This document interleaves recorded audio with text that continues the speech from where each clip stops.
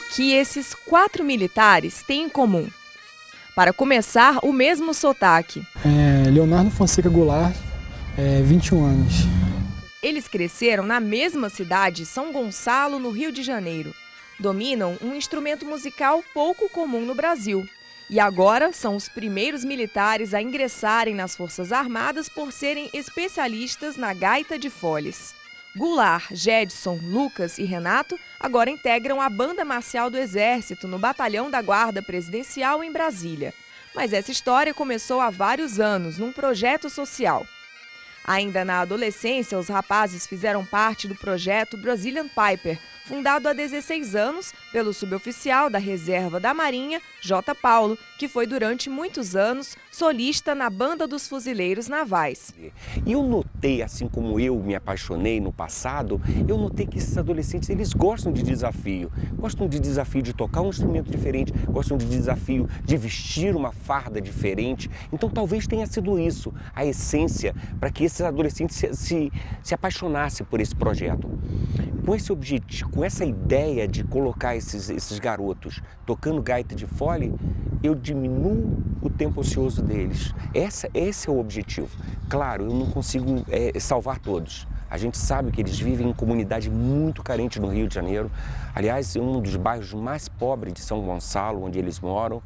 E muitas das vezes eu perco assim, escorrem pelos dedos adolescentes que vão para o tráfico de droga.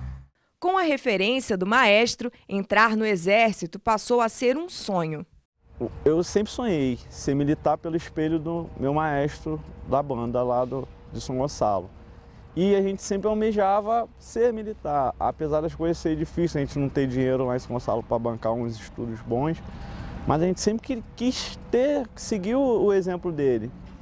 E quando aconteceu, não pensei duas vezes, eu abracei a causa, estudei graças a Deus estou aqui.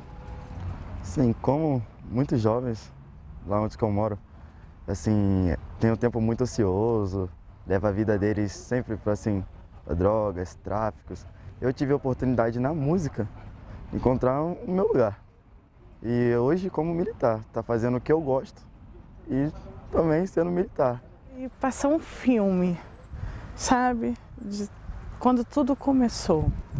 Né? Foi gratificante ver a vitória não só do meu filho, mas dos outros meninos que eu vi crescer junto. Eles enfrentaram uma seleção difícil, com provas de habilidade e de currículo. Os amigos da banda ajudaram, inclusive, com as passagens para Brasília. A gente tinha uma dificuldade muito grande financeira. A, gente, a nossa banda ela fazia eventos, arrecadava dinheiro para poder fazer a conseguir é, comprar a passagem para esses músicos que vieram para cá fazer a prova.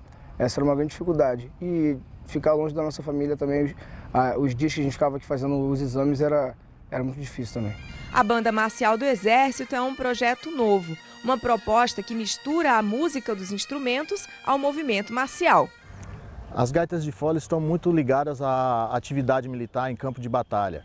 Desde dos anos de 1800 e alguma coisa, a gente já tinha os militares que tocavam gaita de fole sendo usados como elementos que traziam é, comandos, que apresentavam os comandos ao avanço das tropas no campo de batalha. Então essa era uma das funções da gaita de fole junto às corporações quando estavam no campo de batalha. Para os músicos e suas famílias, a oportunidade no Exército representa vitória e esperança no futuro.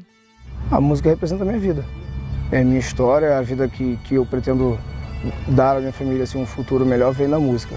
Ela me tirou de, de, de, de, próximo de amizades que eu achava ser corretas e não eram. Me tirou de um mundo que eu poderia hoje não estar aqui, nesse local agora, falando com vocês. Ela representa um futuro brilhante na minha vida. É uma, uma uma coisa que eu nunca vou tirar da minha vida e que se eu puder um dia passar para o meu filho, se ele tiver interesse e eu puder passar, eu vou passar com certeza.